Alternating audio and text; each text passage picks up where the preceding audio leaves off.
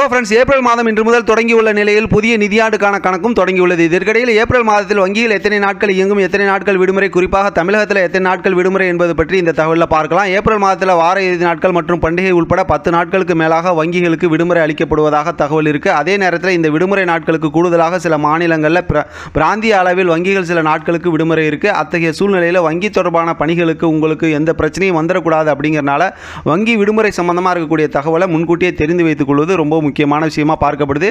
இந்த நிலையில் இந்த மாதத்தினுடைய விடுமுறை நாட்களை தற்போது பார்க்கலாம். ஏப்ரல் ஒன்றாம் தேதி ஆண்டு நிறைவு கணக்கு ஏப்ரல் ரெண்டாம் தேதி வெள்ளிக்கிழமை புனித புனித வெள்ளி குட் ஃப்ரைடே அரசு விடுமுறை ஏப்ரல் நாலாம் தேதி ஞாயிற்றுக்கிழமை ஈஸ்டர் தினம்.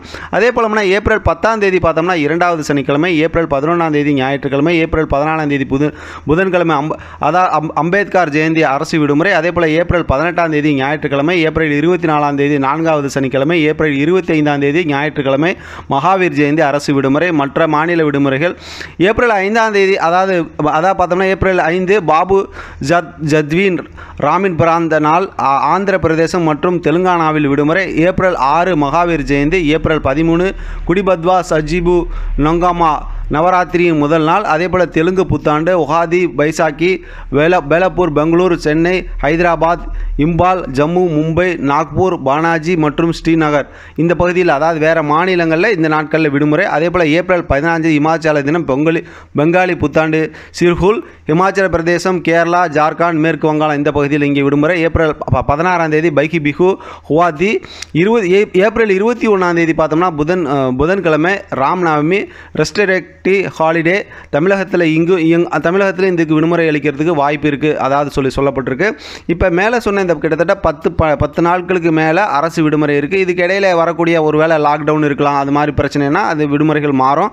இந்த முன்கூட்டியே அந்த தகவல் தெரிந்து வைத்துக்கொள்ள சொல்கிறதுக்கு உண்டான நோக்கம் என்ன அப்படின்னு நமக்கெல்லாம் தெரியும். இந்த விடுமுறை நாட்களில் வங்கி ஊழியர்கள் மட்டுமல்ல நமது தேவைகளையும் பூர்த்தி செய்து கொள்ள உதவும். ஏனெனில் நமது வங்கி தொடர்பான வேலைகளை வந்து முன்கூட்டியே செய்து கொள்ளணும். கடைசி நேரத்தில் பரிமாற்றம் செய்ய முடியாமல் அவதிப்பட போகுது அவதிப்படக்கூடிய ஒரு சூழ்நிலை வந்துடும் அதே போல் வந்து ஏதாவது மருத்துவ செலவு இது மாதிரி விஷயங்கள்லாம் தேவைன்னா முன்கூட்டியே அதுக்குண்டான ஒரு திட்டமிடுதல் இருக்கும். தங்களை தயாராக வைத்துக் கொள்ளலாம். அதே போல் பணம் செலுத்த வேண்டிய இடங்களில் முன்கூட்டியே செலுத்திட்டோம் அப்படின்னா எந்த பிரச்சனையும் இல்லாமல் இருந்து கொள்ளலாம். மேற்கண்ட விடுமுறை நாட்கள் மாநிலத்துக்கு மா மாநிலம் சற்று வேறுபடுதல் இருக்குது அதை வந்து மக்கள் அதுக்கேற்ப மாதிரி செயல்பட்டு கொள்ளணும்.